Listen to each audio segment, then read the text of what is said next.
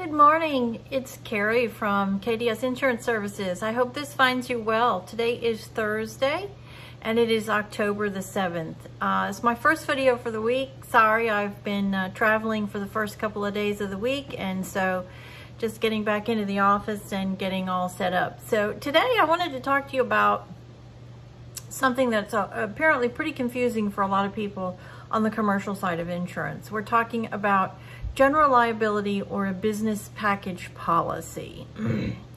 and it has this it it has the same common coverage which is general liability okay so if you're a business owner and you um, provide a service to customers let's let's just use for example a floor make it easy here and you do not open or have a retail space where your clients come in and meet you in a showroom or an office that's actually open to the public, then you just need what's called a, if you don't need any property coverage, you just need the liability to protect you in the event that you fail to do something or you damage their, their property or you are sued for libel, then you are required to carry, not required, back that up, you should be carrying general liability insurance. And this protects your business assets. Okay, so for example, you go in and you do a job and unexpectedly you end up damaging the person's property that you're doing the work for. Um, and they decide then that they're going to sue you for those damages. Well, you would need a general liability policy to protect you in the event that you were sued for that, if you were sued for damages. Now, of course, you have to be found liable um, by a court or a judge. Um, and then if you are found liable, then your policy would pay out to repair that other party, that third party. You're the first party, the insurance company is the second, and this is the third. Um, somebody that you are doing service work for. And you are found liable, and so then the judge decrees that, yes, you are liable and you have to pay X amount of dollars. So your general liability policy is there to protect you in the event that happens. Okay, it's just the liability part of it only. Uh, because one, you don't have people coming into um, an office or a showroom, and so then there's no exposure for that actual resident, that actual location, that actual physical office or showroom. And you don't specifically need any business property coverage or you don't need to insure the building that you're in. So in this particular example, you would just need the general liability insurance that protects you in the event that you are found liable for something, okay? General liability, very important. Um, most businesses should have it in the state of Texas. It is not a mandatory requirement. Uh, but there are many, many vendors that you may work with that are going to require general liability and they're going to require that they be listed as an additional insured for whatever their relationship is at the property in which you are working. A lot of times that is commercial properties, not necessarily residential or private um, work. So that's a general liability policy. Okay, so Carrie, the question is, well, what's a business package policy? Really good question, and it can be confusing. A business package policy or a BOP, a business owner's policy is another name for that.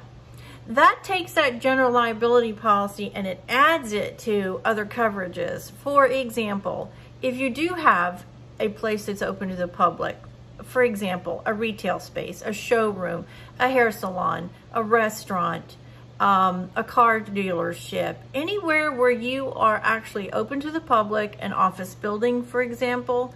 Um, if you are open to the public and the public is coming in, the biggest concern here is a slip and fall type situation where somebody would come in and get injured and then therefore they would come after you for the damages for some faulty whatever they determine that they're going to try to sue you for.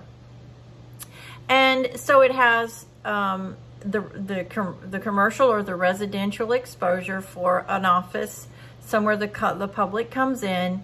It also has a business package, business personal property that would be furniture, equipment, computers, lighting, refrigerator, whatever is in the space that is considered commercial personal property, okay? So business property in this case. Uh, desks, um, all of that that is required to actually open and maintain that office or that retail spot. That's the business property. And then also in this package, if you will, so you have the liability and you have the property, the business property. Uh, you can also insure the actual building in this package. So it is sort of similar to a house, if you will. You're, you're insuring the house, then you're insuring everything in the house, and then you have the liability insurance on top of it. So the difference between just the general liability, which is just that, it's just general liability, and then the package policy, which has the liability, property, and then business property, everything in the building. So that can be a really confusing um, piece of the puzzle. I get I get that question an awful lot. And the one thing that I say to determine which one of those you need is, well, do you have a space that clients come into or you have employees in or you have that exposure where it's not just you, but there's other people involved in it. And so in that case, it would be a package policy versus just a liability policy. This is a, a good example of this would be somebody who uh, works from home. They have everything done out of their home office and they travel out to different places. In, in that particular case, they don't need all those other coverages, and so then they would just need the general liability insurance. So I hope that clears that up a little bit for you. I know it can be confusing. Of course, the best way to know exactly which one you need is obviously to contact an agent talk through your situation and then if if they are a commercial agent and they understand writing commercial insurance obviously they need to be licensed then they should be able to direct you as to which one um, you need and which one best suits your individual situation. I will just say this, I give you some caution. There are a lot of agents out there that write insurance to write the biggest premium they possibly can. And so unfortunately, there are some agents that sell you this huge big package with all of these coverages that you don't need. So just remember that when you go to talk to your agent. Are you working from home and there's no exposure there and what you need is just the protection for the services that you provide? Then that's just general liability. And I personally think it is unethical to sell a huge package policy to somebody who does not need it. So food for thought, my opinion, but it is my opinion after almost 40 years in this business. So just some food for thought when you go and you get ready to start a business and you're looking for the correct type of insurance. Uh, also remember, in the state of Texas, if you are in Texas, Texas does not mandate workers' compensation insurance. It is your choice as a business owner.